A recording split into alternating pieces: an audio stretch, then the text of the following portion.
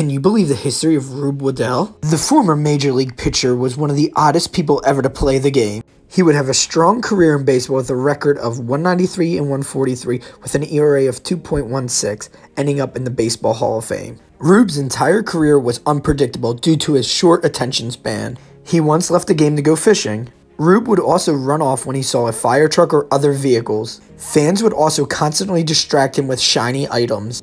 Whenever he saw a dog or pet, he would run over to it. During the off-season, he would often disappear and was discovered to be wrestling alligators in the circus. Needless to say, coaches and teammates were not a Rube fan. Did you know this odd baseball history? Believable truths.